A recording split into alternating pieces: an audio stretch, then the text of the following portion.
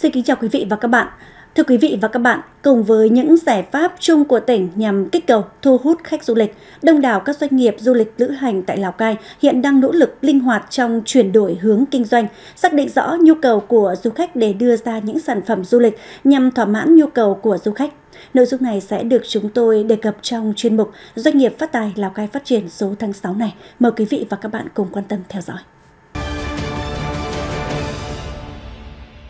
Khu du lịch quốc gia Sapa Lào Cai Với khí hậu trong lành, cảnh quan hùng vĩ, bản sắc văn hóa độc đáo đã trở thành điểm đến lý tưởng của du khách trong những ngày nắng nóng. Hàng loạt những điểm vui chơi, điểm check-in mới phù hợp với mọi lứa tuổi đã thực sự tạo ra hứng khởi đối với du khách. Cái lựa chọn mà lên núi ấy, để hưởng cái không khí mát và trong lành Thế nên là gia đình mình đã chọn à, cái đoàn mình đã chọn địa điểm lên Sapa để hưởng cái không khí trong lành, mát lạnh của cái thời tiết Sapa. Mà lên trên này rất là thú vị. Thực ra ấn tượng là đi xuống dưới cái bản cát cát ấy. Nó rất là đẹp mà ừ,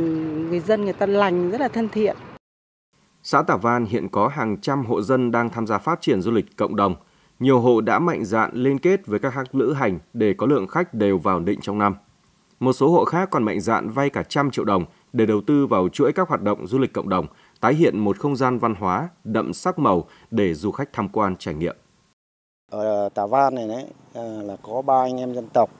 một là dân tộc Mông, hai dân tộc Giao, ba là dân tộc Giấy. Thì ờ, ba dân tộc anh em chúng tôi sống rất là hòa thuận, đoàn kết và Ờ, cố gắng giữ gìn bản sắc văn hóa của dân tộc mình. Ờ, tôi ờ, đến nay thì cùng nhau để làm du lịch để phát triển kinh tế hộ gia đình.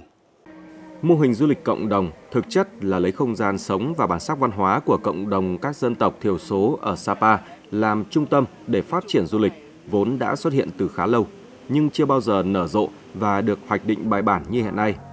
Sapa cũng là địa phương được Bộ Văn hóa, Thể thao và Du lịch xếp hạng đứng đầu cả nước về phát triển hiệu quả mô hình du lịch cộng đồng với trên 300 cơ sở homestay, kinh doanh du lịch và dịch vụ lưu trú. Du lịch cộng đồng giờ đã thực sự là tâm điểm hiện diện trong hầu hết các hành trình được thiết kế để giúp du khách khám phá vẻ đẹp tiềm ẩn của vùng đất con người Sapa phát triển du lịch cộng đồng và đây chính là năm cái sản phẩm du lịch chính mà chúng tôi coi như đấy, đây chính là cái linh hồn của du lịch Sapa trong thời gian tới. Và để phát triển được cái hoạt động du lịch này thì trong cái định hướng phát triển, chúng tôi có đưa ra một cái thương hiệu sản phẩm, đó là xây dựng Sapa trở thành xứ sở để khám phá và trải nghiệm văn hóa các dân tộc. Ờ, để thực hiện điều đó thì chúng tôi sẽ tập trung khai thác sâu vào các cái giá trị văn hóa của năm dân tộc thiểu số tiêu biểu đại diện ờ, của Sapa đó là dân tộc Tày, dân tộc Mông, dân tộc Sa Phó, dân tộc Giao và dân tộc Giấy. Thế và với mỗi một dân tộc như thế thì chúng tôi sẽ khai thác tối đa các cái giá trị văn hóa từ uh, nghệ thuật biểu diễn, uh, âm nhạc rồi lễ hội, ẩm thực ờ, và nghề thủ công truyền thống để làm sao mà khách du lịch đến đây thì họ có những trải nghiệm đầy đủ và để thực hiện được những điều đó thì chúng tôi có lựa chọn 5 cái điểm du lịch trọng điểm tiêu biểu gắn với đặc trưng của năm văn hóa dân tộc để tập trung đầu tư. Xác định rõ nhu cầu của khách du lịch nội địa thì cần phải có những điểm vui chơi, điểm du lịch cộng đồng phù hợp với nhiều lứa tuổi, nhiều doanh nghiệp du lịch, lữ hành cùng người dân bản địa Sapa hiện đang nỗ lực tái tạo lại cơ sở vật chất và điều kiện nghỉ dưỡng để thực hiện chuyển đổi hướng kinh doanh, tạo ra những sản phẩm du lịch đáp ứng thị hiếu của khách du lịch nội địa. Quy mô khách sạn hiện nay là khách sạn ờ, 4 sao, bao gồm ờ, tổng là 95 phòng. Trước khi ờ, dịch Covid chưa có thì cái phần của tôi gần như là 60% là khách ờ, khách quốc tế. Ờ, sau khi dịch Covid thì ờ, cái lượng khách quốc tế gần như là không có và chính vì vậy cho nên chúng tôi cũng nhận thấy rằng là cái thị trường khách nội địa cũng là thị trường rất là lớn. Chúng tôi cũng đồng hành cùng du lịch Hiệp hội Du lịch Sapa cùng Sở Du lịch của tỉnh Lào Cai cũng tham gia có cái cầu chúng tôi cũng có kế hoạch giảm giá phòng và giảm giá phòng nhưng không đồng nghĩa vấn đề là giảm chất lượng dịch vụ. Chúng tôi vẫn duy trì chất lượng dịch vụ đó và chúng tôi thêm không những giảm giá phòng mà còn thêm một số cái những cái dịch vụ giá trị gia tăng cho khách. Rất nhiều các cái doanh nghiệp ở trên địa bàn thị xã Sapa thì cũng đã chủ động để chuyển đổi ờ, thực hiện các cái sản phẩm du lịch để thu hút được cái lượng khách du lịch nội địa. Bây giờ thì các bạn có thể thấy là trên Sapa thì có rất là nhiều điểm check-in, những cái nhiều những cái vườn hoa rất là đẹp để phục vụ phục vụ với cho khách du lịch. Thậm chí là các cái điểm du lịch cộng đồng của chúng tôi cũng thấy hiện tại bây giờ thì ờ, rất là nhiều những cái điểm thay vì là chuẩn bị các điều kiện để phục vụ cho khách du lịch quốc tế như trước đây thì mọi người đã tập trung vào cái việc là tái tạo cảnh quan vệ sinh môi trường và tổ chức các hoạt động để phục vụ khách du lịch. Hoạt động du lịch của Sapa đã nhộn nhịp trở lại và đối với lượng khách du lịch nội địa thì có thể đã uh, phục hồi được khoảng 70 đến 80%. Điều mà mọi du khách đều lo lắng và quan tâm nhất khi đi du lịch thời điểm này chính là sự an toàn cùng những ưu đãi về giá thành các sản phẩm du lịch. Gói hỗ trợ kích cầu du lịch tỉnh Lào Cai vừa được công bố, quảng bá giới thiệu đến đông đảo các doanh nghiệp du lịch lữ hành cùng các cơ quan thông tấn báo chí cả nước được kỳ vọng như một làn gió mới, chuyển đi thông điệp an toàn, sức hấp dẫn, sự đa dạng của các sản phẩm du lịch Lào Cai. Chúng tôi kỳ vọng là sau cái chương trình kích cầu du lịch Tây Bắc này thì cái sự kết nối giữa các cái đơn vị lữ hành trong nước ờ, sẽ ờ, bước sang một cái trang mới. Tức là chúng ta đã có những cái thời gian để chuẩn bị cho cái việc mà ừ, củng cố các cái sản phẩm du lịch. Chúng ta đang có những cái điều kiện để mà tiến hành các cái hoạt động ờ, quảng bá xúc tiến. Chúng ta đã có những cái điều kiện để đào tạo nâng cao chất lượng nguồn nhân lực. Và cho đến nay thì khi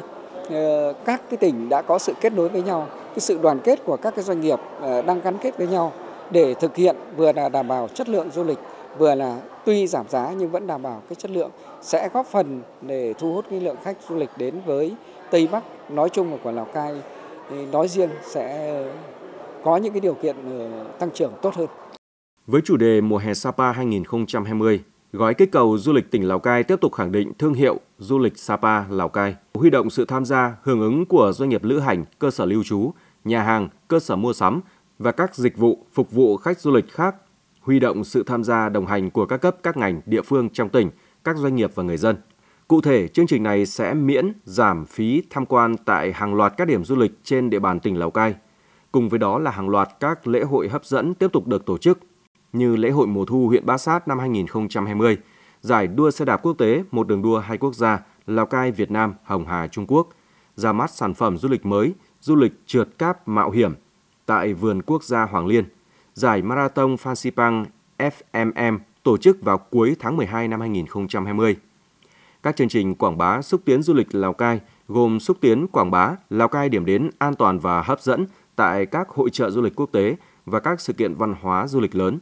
tổ chức Ngày hội Văn hóa Du lịch Sapa tại thành phố Đà Nẵng, quảng bá video chương trình kích cầu du lịch mùa hè 2020 qua các màn hình LED, Facebook, app điện thoại và các website.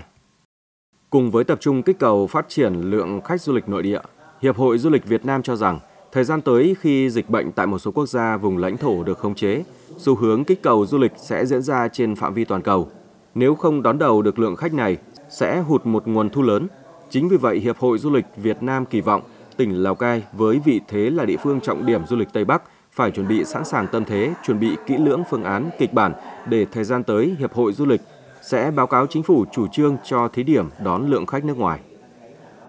Chúng ta hiện nay đang đẩy mạnh vấn đề kích cầu du lịch nội địa và chúng ta tập trung vào phát triển khách du lịch nội địa. Khi mà dịch Covid nó có thể có những cái kết quả, cái việc phòng chống dịch ấy tốt hơn nữa. Chúng ta, cái lượng, cái sự an toàn của nó cao hơn là chúng ta bắt đầu tính đến chuyện là phải đón khách quốc tế mà đón khách quốc tế là một quá trình tương đối gian khổ bởi vì cái nước mà chúng ta định đón khách ấy phải là một nước an toàn khách đi không phải là khách đã được kiểm tra an toàn và cái điểm đến cũng là điểm đến an toàn. Vì vậy, để mà đón được khách quốc tế, phải có một chương trình thí điểm. Và những địa phương nào có thể đăng cai được thí điểm việc đón khách, đó là những cái điều, địa phương phải có đủ điều kiện. Thế thì qua cái chuyến đi khảo sát lần này, thì cái đoàn lữ hành của hiệp hội du lịch Việt Nam thì chúng tôi cảm nhận thấy là Lào Cai đấy là một cái địa phương có đầy đủ những điều kiện để chúng ta có thể triển khai thí điểm cái việc đón khách. Để tạo sự hấp dẫn hơn đối với du khách, nhiều doanh nghiệp du lịch lữ hành khẳng định sự hỗ trợ về chủ trương nguồn lực của chính phủ là điều đặc biệt quan trọng với doanh nghiệp. Tuy nhiên, đó sẽ là cả một quá trình dài – Vậy nên điều quan trọng nhất để vực dậy nền kinh tế lúc này là doanh nghiệp cần nỗ lực phát huy tinh thần nhạy bén, chủ động, cùng liên kết để tạo ra những tour tuyến du lịch khép kín, hấp dẫn đối với du khách. Hy vọng những nỗ lực, cố gắng của cấp ủy chính quyền các địa phương trong việc kích cầu đưa ra các sản phẩm du lịch mới sẽ thực sự tạo những ấn tượng tốt đẹp trong lòng du khách. Bởi chỉ có như vậy mới nhanh chóng phục hồi lại kinh tế du lịch, từ đó tác động lan tỏa đến kinh tế xã hội của Lào Cai và các địa phương Tây Bắc. Từ đây thì thời lượng dành cho chuyên mục Doanh nghiệp phát tài Lào Cai phát triển số tháng 6 của Đài Phát thanh Truyền hình Lào Cai đã hết. Cảm ơn quý vị và các bạn đã quan tâm theo dõi. Xin kính chào tạm biệt.